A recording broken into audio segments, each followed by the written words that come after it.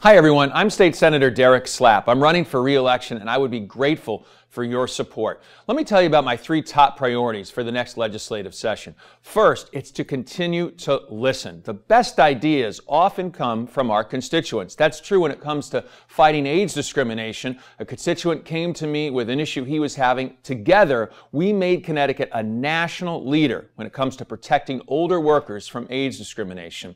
And listening, of course, is critically important when it just comes to helping constituents with their challenges that they might have with DMV or another state agency. That's why I return every phone call and every email myself.